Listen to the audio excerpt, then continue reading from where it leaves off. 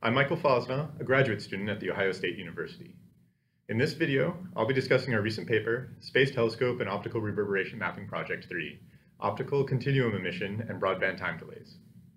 The Space Telescope and Optical Reverberation Mapping Project, or AGN STORM, is an intensive multi-wavelength monitoring campaign of the archetypal Seyfert 1 galaxy NGC 5548.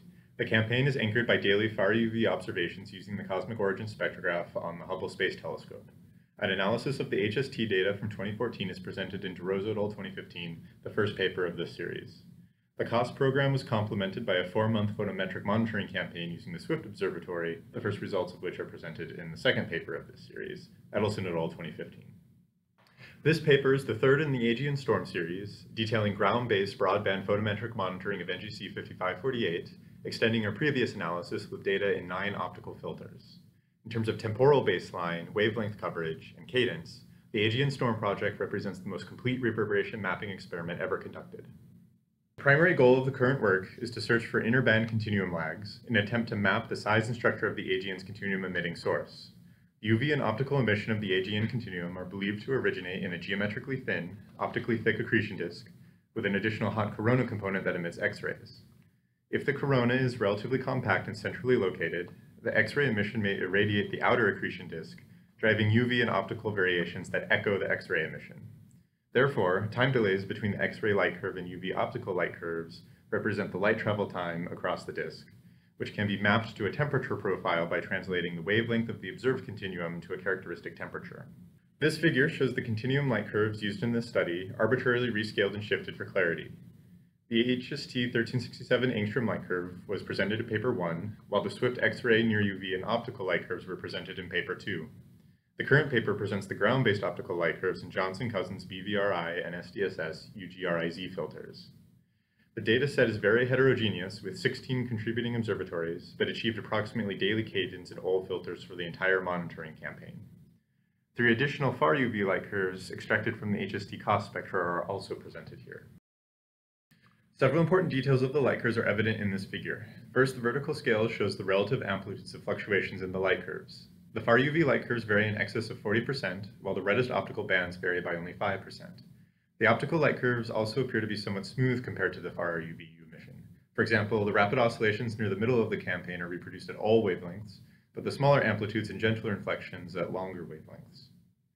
These features support a continuum reprocessing model in which the X-ray or far UV emission drives variations at longer wavelengths. The damped amplitudes are due to geometric dilution so that a smaller energy flux is incident on the outer parts of the disk that radiate at longer wavelengths, while the smoothing and time delays result from convolution of the driving light curve with a transfer function defined by the size, inclination, and physical properties of the accretion disk. We measure the time delay between light curves using cross-correlation techniques, and, following papers 1 and 2, we measure all lags relative to the HST 1367 angstrom light curve. This figure shows the relation between time delays and pivot wavelengths of the filters, corrected for cosmological time dilation. There's a clear trend with larger lags for light curves at longer wavelengths. The V-band lags the far UV emission by approximately two days, while the Z-band lags the far UV by about four days. For comparison, the average helium-2 line lag is 2.5 days relative to the far UV. Helium-2 is believed to originate in the inner broadline region. If these time delays do in fact represent light travel times, our results suggest that the optically emitting portion of the disk is of a similar physical size as the inner broadline region. The trend is also nearly monotonic, with two noticeable exceptions. First is the flattening of the lags at long wavelengths near four days. Second are the large time delays of the SDSS U and Swift U bands. This may be due to broadline region emission picked up in these filters, which has a longer lag and may bias the estimate of the continuum lag at these wavelengths. Based on spectral decompositions and synthetic photometry, we show that the Balmer continuum accounts for approximately 19% of the emission in the SDSS U and Swift U bands. From experiments with mock continuum and line light curves, we find that this contamination probably accounts for the larger than expected lags in these bands. We therefore exclude the SDSS U and Swift U bands from the rest of our analysis. Finally, we fit a model to the lag wavelength data, shown by the equation in the top left of the figure. The model has two parameters, a normalization and a power law index. The normalization is a measure of the absolute size of the disk and is related to the energy generation rate from accretion and irradiation, while the power law slope is predicted to be 4 thirds for a geometrically thin disk with a temperature profile of r to the minus 3 fourths. Our best fit parameters are alpha equals 0.79 days and beta equals 0.99. Although the flatter value of beta is statistically preferred, the result is driven by the downturn at the I and Z band lags, and we find that beta is consistent with 4 thirds if these lags are excluded from the fit. For standard thin disk parameters, the prediction for alpha is 0.16 days, a factor of 2.6 smaller than our best fit, assuming the R to the minus 3 fourths temperature profile. A better match is achieved by increasing the accretion rate above the Eddington rate.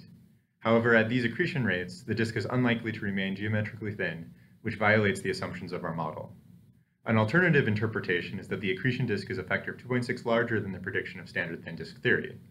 The larger disk size is in good agreement with other recent reverberation mapping studies, as well as quasar microlensing results. Further investigation of the accretion disk structure in NGC 5548 will benefit from physical modeling of the AGN Storm light curves, and several such studies are planned for upcoming papers in this series. For further details, please see our paper, which includes a discussion of the large UV optical lags, implications for the mean radius and geometry of the broadline region, and the effect on the supermassive black hole mass. Thank you for watching.